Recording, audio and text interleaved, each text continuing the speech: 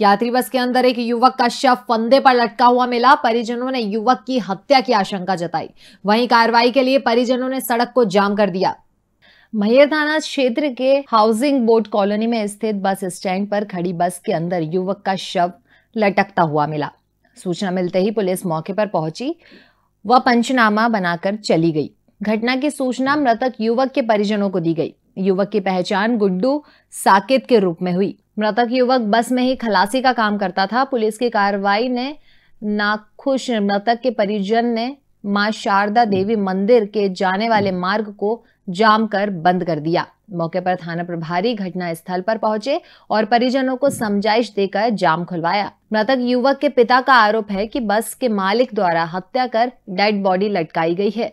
मृतक युवक की पत्नी ने बताया कि रात में पति से बात हुई। पति बोले, मैं घर वापस आ रहा हूँ। फिर कुछ देर बाद पति का फ़ोन आया कि बस मालिक उसे लेकर वापस मैया जा रहे हैं। इसके बाद कुछ देर बाद सूचना मिलती है कि उनकी डेड बॉडी मिली है। हमें यकीन है कि उन्हें मार कर टांगा गया है। घटना के बारे में जानकारी देते हुए एसडीओपी राजीव पाठक ने बताया कि मामला दर्ज कर लिया गया है। वहीं करीब साढ़े आठ बजे जानकारी मिली साहब। एक जायसवाल जी मोरे घर गए हैं मैं घर मरे हूँ। तो कहीं की मैं चाचा निकला बाहर निकला तो मैं कहूँ, का आया है? घर यह रहा तो कहीं की का आया लाला? कहीं चाचा का बुलावा। हो गया मैं निकल हूँ।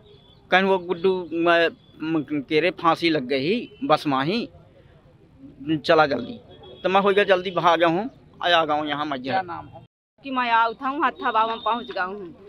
फिर आठ बज के इकतालीस मिनट में लगा, मैं लगाऊँ तो कहीं की मोही मालिक नहीं, आमद है ड्राइवर फ़ोन कर दी भाई मालिक कहानी तो मालिक कहा था तो गाड़ी में जा।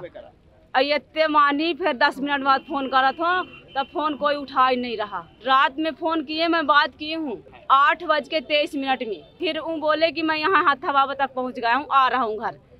फिर आठ बज के इकतालीस मिनट में मैं फ़ोन लगाई कि कहाँ तक पहुँचाए हो।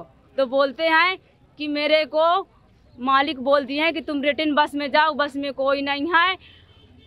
और ड्राइवर फ़ोन कर दिया मालिक को। तो मालिक मेरे को यहाँ से लिए जा रहे हैं यहाँ गाड़ी में रहने के लिए। अभी कल रात में पुलिस को सूचना मिली थी कि एक अज्ञात व्यक्ति एक बस में फांसी लगाकर झूला हुआ है। तत्काल पुलिस वाल वहाँ पर पहुँचा और दरवाजे को बस के खुलवा के देखा। तो उसकी पहचान बस के खलासी के रूप में हुई। उसका नाम गुड्डू साकेत पता चला। उसके परिजनों को तत्काल सूचना दी गई। परिजन आए। परिजनों ने कुछ आरोप लगाए, जिस संबंध में पुलिस ने जाँच के लिए, पीएम के लिए बॉडी को भेजा है। उसके बाद जिन जिन तथ्यों पर वो जाँच चाह रहे हैं, उन सभी तथ्यों पर भी जाँच की जाएगी। और कोई भी ऐसी यदि संदिग्ध बात पाई जाएगी तो उस पर तत्काल कार्रवाई की जाएगी।